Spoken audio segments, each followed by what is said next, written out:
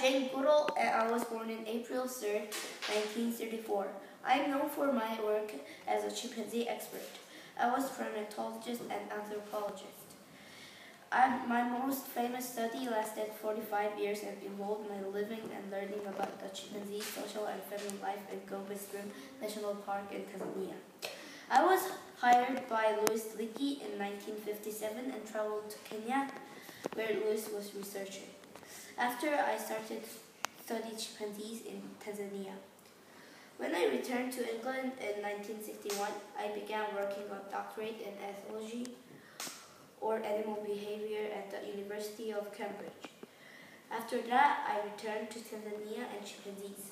Because I was so close to chimpanzees, I, I could discover new things like chimpanzees also use tools, bustle each other, or hunt large mammals.